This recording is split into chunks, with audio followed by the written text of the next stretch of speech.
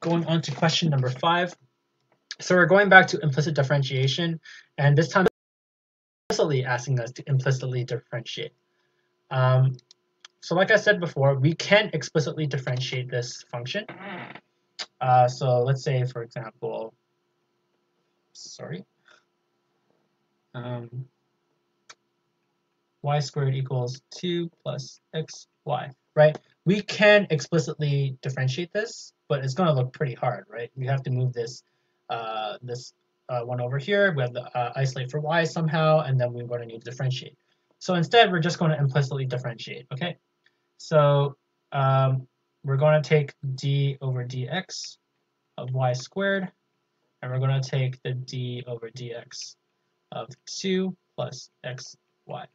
Okay, so if we're differentiating this, right, the chain rule again applies, uh, where um, we, I'm going to use y prime from now on, uh, where we take the outside function, which is, I guess, this function squared, so 2y, and the inside function, uh, which is just y prime.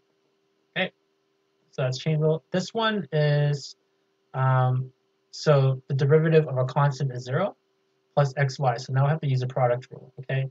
Uh, so the product rule suggests that um, we take the derivative of x, which is 1. Um, so this.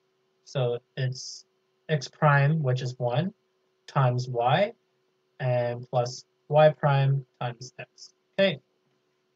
So now we're just left with 2y y prime equals y plus y prime. Okay, so we're going to isolate for y prime, um, which equals y. I'm going to isolate, take factor out y prime to have 2y minus x, y, and y prime equals y over 2y minus x.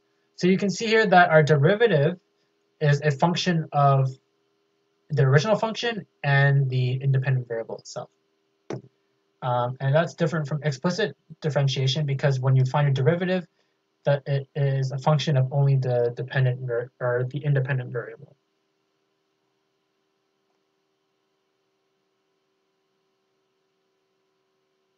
Why is this 2x?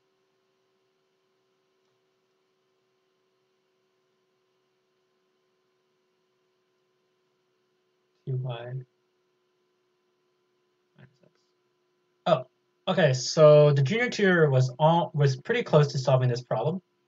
Uh, but and this in this one step here, they switched x and y for some reason, I believe. Uh, so this solution is almost correct. Uh, the last step, you